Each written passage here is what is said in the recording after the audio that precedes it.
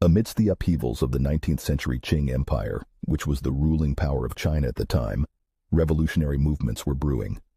One, led by the self-proclaimed mystic Hong Xiuquan, known as the Taiping Rebellion, sought to overthrow the dynasty through a crusade blending zealous religiosity with utopian visions of equality. The resulting nearly 14-year-long internal conflict engulfed this Asian giant into utter chaos, leading to economic ruin, social divides, and over 20 million deaths.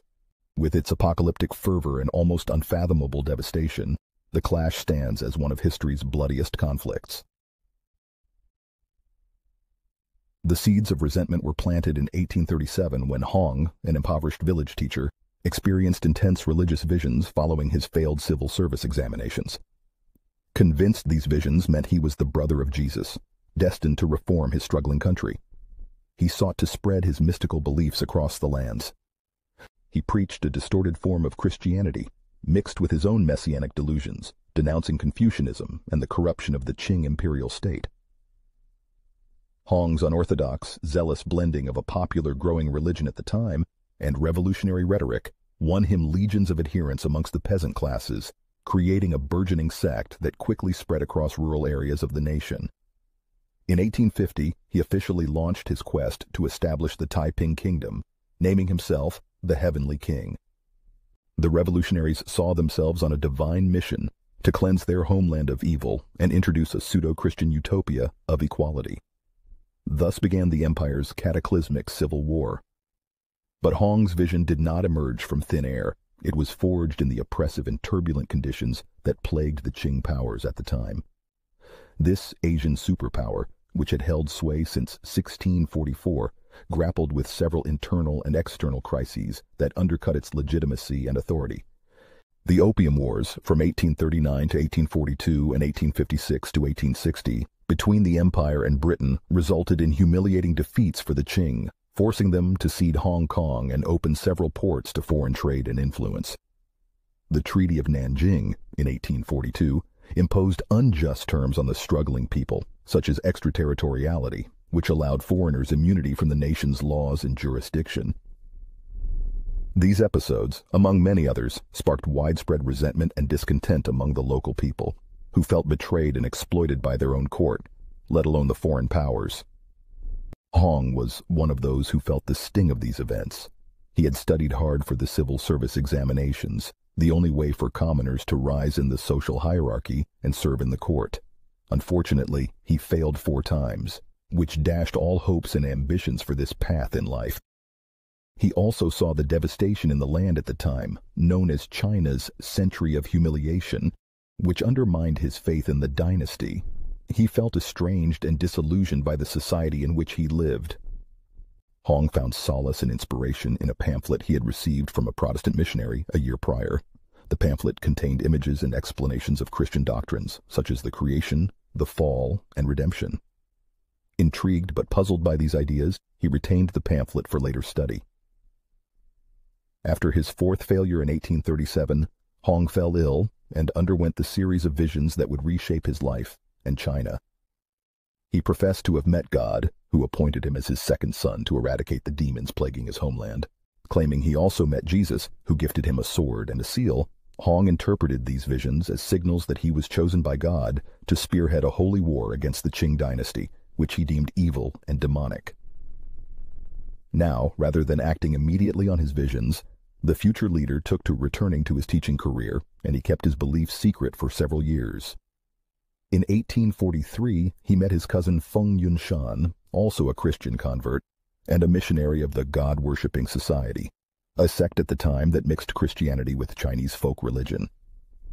They developed religious doctrines based on the leader's visions and understanding of Christianity, they denounced traditional Chinese culture, such as Confucianism, Buddhism, Taoism, general ancestor worship, idolatry, polygamy, and foot binding as sinful or demonic. They championed social reforms like land redistribution, communal ownership, gender equality, and literacy education as part of their heavenly mandate. Their avant-garde beliefs and norms soon clashed with the ruling authorities, who viewed them as heretics and rebels.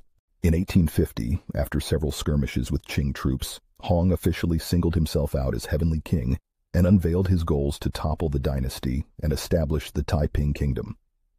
His idea was bolstered by other polycentral leaders, such as Yang Xiuqing, who claimed to voice God's will, Xiao Chao Gui, who considered himself the Holy Ghost, and Feng Yunshan, who posited himself as the South King. Collectively, they led their devotees into a holy war that would lock the country in unparalleled bloodshed. After seizing the key Yangtze River city of Nanjing in 1853, they proclaimed it their capital and springboard for expansion. At its zenith, the kingdom governed significant areas of the southern and central parts of the giant Asian nation. In accord with messianic visions, the rebels banned heretic practices in territories under their theocratic rule.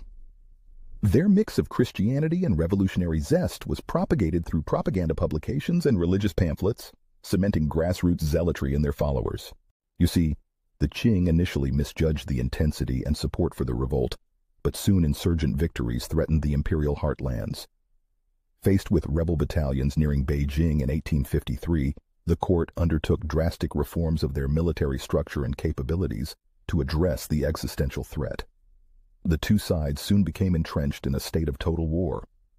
Yet the Taiping kingdom was also neither harmonious nor stable.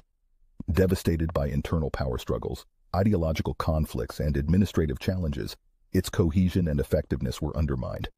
As time lingered on, Hong Xiuquan grew increasingly isolated and suspicious in his heavenly palace, indulging in luxuries and pleasures while forsaking his responsibilities as heavenly king.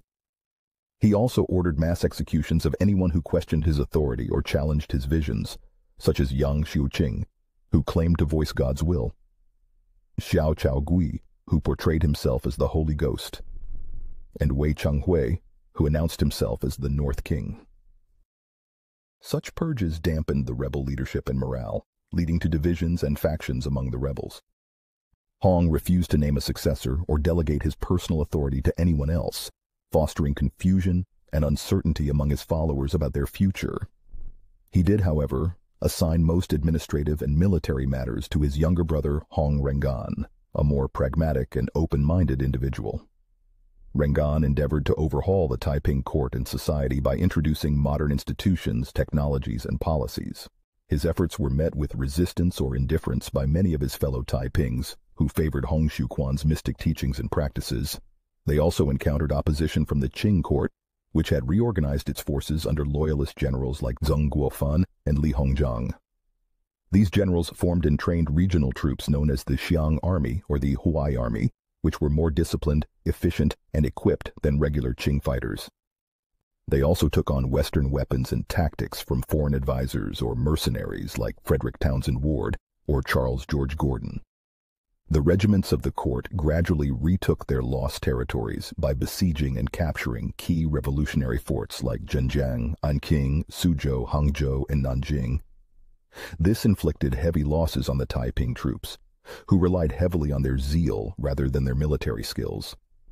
The insurgent battalions often marched into suicidal battles without proper planning or coordination, believing they were invincible and favored by God. At this time, the Taiping heavily enforced their social and religious reforms in their domains, which were overwhelmingly radical and controversial by the Chinese standards of that time period, abolishing private property and establishing communal ownership of land and wealth. They also instituted gender equality and allowed women to serve in the army or public offices. They also took to banning any activities seen as sinful or harmful, enforcing strict gender segregation in public and private spaces, requiring men and women to live separately in different camps or villages. They completely replaced Chinese culture with their version of the perfect society, drawing heavily from Hong Xiuquan's visions and interpretations of the Bible. Unfortunately, this also involved the destruction of temples, shrines, idols, and books, among other items they deemed idolatrous or demonic, and required all Taiping citizens to adopt new names, hairstyles, and clothing styles that mirrored their identity. They marched into suicidal battles, assured of their invincibility and divine favor, resulting in horrific casualty rates when Qing forces encircled and gradually decimated the rebel strongholds, Trapped in the crossfire, innumerable civilians endured unimaginable suffering. Agricultural collapse due to desolated farmlands led to devastating famines. Marauding troops massacred entire hamlets suspected of sympathizing with the insurgents. Some Westerners even supported or assisted the uprising, offering them weapons and training. One of the Americans mentioned earlier, Frederick Townsend Ward, particularly stood out, forming the ever-victorious army, a mercenary legion comprising Chinese and Western soldiers who fought for the Taiping cause. However, as the hostilities dragged on and threatened their interests, these states ultimately chose to side with the Qing dynasty against the revolutionary forces. In the end, they perceived the insurgent fighters as a potential danger to their economic and political sway and an agitator of violence in the region. Also, they doubted their authenticity as a Christian sect, viewing their wild beliefs as heretical or fanatical. Hence, they intervened in the hostilities, lending military and diplomatic aid to the court. Their involvement significantly shaped the course of events. The intervention was critical in steering the balance of power toward the dynasty and expediting the end of the revolt, but also increasing the country's reliance on foreign entities. It ignited a deep resentment and mistrust of Western civilization and religion, perceived as sources of degradation and exploitation. Despite their unwavering dedication, a complicated mix of internal leadership struggles and the court's military tenacity gradually chipped away at Taiping's capabilities to fight. In late 1853, Hong retreated from public life, frequently ordering large-scale executions of those he saw as threats, while still declining to appoint a successor. His absence at the helm left military commanders with autonomy, thereby diluting coordination efforts against the Qing. After years of damaging warfare, the court's reinforcements armed with European weaponry and tactics finally began to gain ground through a series of victories. In 1864, Nanjing, the capital of the kingdom, fell after a year-long siege. The breakdown of the city led to Hong being poisoned by one or many of his subordinates, and isolated pockets of resistance finally capitulated the following year, thus bringing the chaos to an end. This ruinous end left China economically, socially, and psychologically drained for decades, and the disastrous finale fueled perceptions of Christian teachings as dangerous fanaticism moving forward. Fearful of further foreign encroachment, court rulers became even more conservative than before, resisting both reform and Western integration. Yet the uprising did also undermine the authority of the dynasty at its core, as interestingly, within just five decades, the Qing themselves would be overthrown in the 1911 revolution. The rebellion was not an absolute failure. It held some positive or constructive influence over Chinese history and progress by spurring later reform movements and revolutionary thinkers in the mainland, who learned from both the blunders and accomplishments. Some regarded their bravery and vision with admiration, seeking to replicate their spirit of resistance and innovation. Some adopted and adapted Taiping's proto-socialist and religious ideology, striving to implement them in a more moderate or more realistic manner. The self-strengthening movement, from 1861 to 1895, for instance, was the initiative of a few Qing officials and elites, seeking to modernize the country's military, industry, education, and foreign diplomacy by learning from Western advances. They hoped to fortify China's defenses and sovereignty against foreign aggression and intervention. And finally, the Xinhai Revolution from 1911 to 1912, which was the first successful attempt by Chinese revolutionaries and nationalists to overthrow the Qing dynasty. These reform movements and revolutions were inspired by the Taiping Rebellion in numerous ways. For instance, they were led or supported by former followers or sympathizers such as Hong Rengan, Li Hongzhang, Sun Yat-sen, and Song Jiao-ren, who adopted the revolutionaries' policies or slogans such as expel the foreigners, restore China, or equalize land from the days in the Taiping.